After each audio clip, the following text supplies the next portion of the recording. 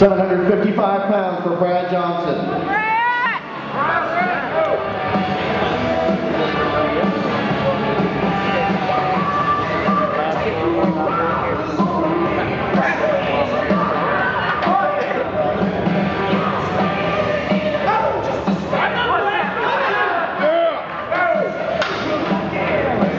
Good luck.